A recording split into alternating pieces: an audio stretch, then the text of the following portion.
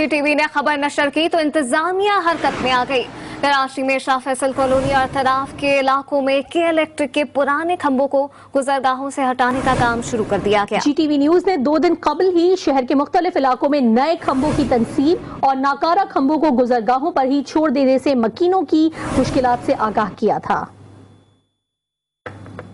Karachi